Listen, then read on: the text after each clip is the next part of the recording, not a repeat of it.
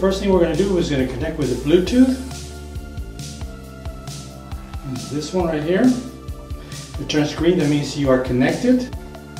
We're going to go to video slider mode.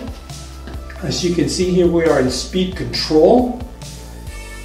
Now you are able to pause or play.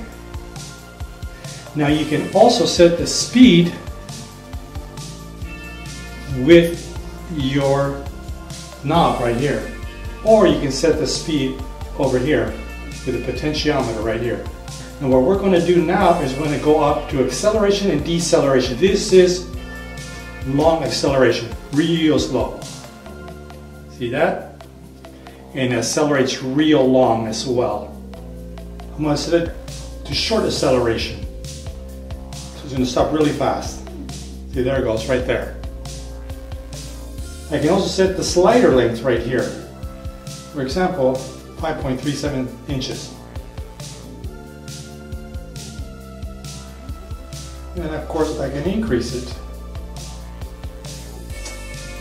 Position control.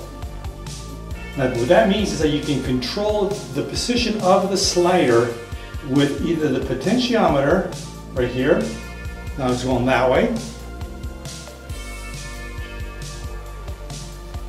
Now it's going this way. Now you can also set the position of the slider with the knob right here.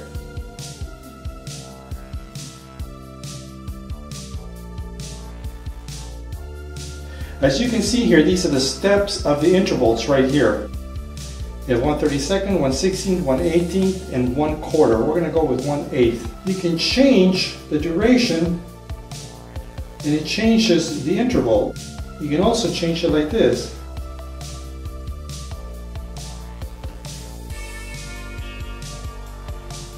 Change it, that's every 4 seconds. Now, right here, you can set the number of repetitions, how many times you wanted to go back and forth right here.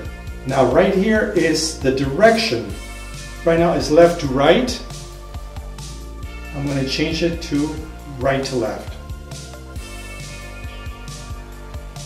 There it goes, right there.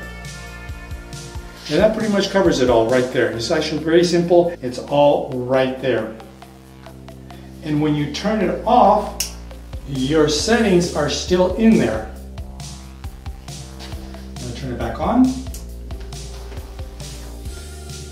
The latest settings that were in there are still in there, even if you remove your battery.